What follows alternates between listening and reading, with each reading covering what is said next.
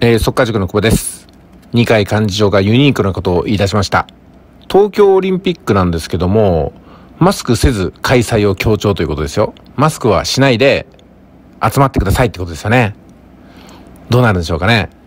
うん、なんか、ある意味ワクワクするんですけども、何が起きるんでしょうか。これほどまでに自分以外の人命と不安な気持ちを軽視する人間も珍しいんですけど、皆さんの近所にいますか？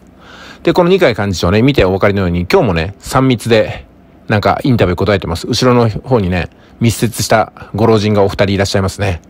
で、自分だけマスクしてないでいうね。周りの人にはマスクさしておいて。自分は飛沫バンバン飛ばしてね。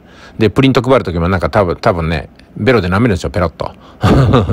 まあそんな年代だと思いますけども、まあ、オリンピックを開催すると、二階さん儲かるから開催しましょうってことね、声高らかに言ってますけども、えー、まあやりたいんだったら自分でね、走ったり飛んだり、やり投げたりすればいいと思いますけども、結局この人がやるって言っても、この人は別にオリンピック出るわけじゃないですしね。まあ鼻くそをじりながら見てるだけだと思いますんで、楽なもんですよね。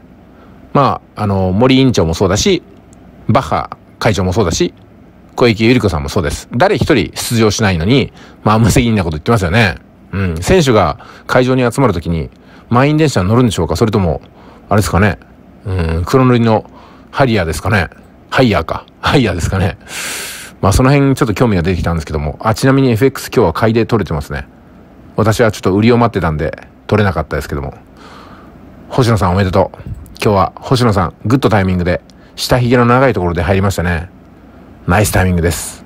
今日は儲かってるんじゃないですかあ、ちなみにリップル値上がりしてるみたいですね。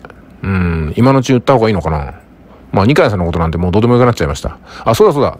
あの、なんか、時短要請に応じない飲食店で罰則があるみたいですけども、この人たちを罰則つけた方がいいんじゃないですかね、まずは。この人たちに罰則。どうですかね、皆さん。じゃあ今日は以上です。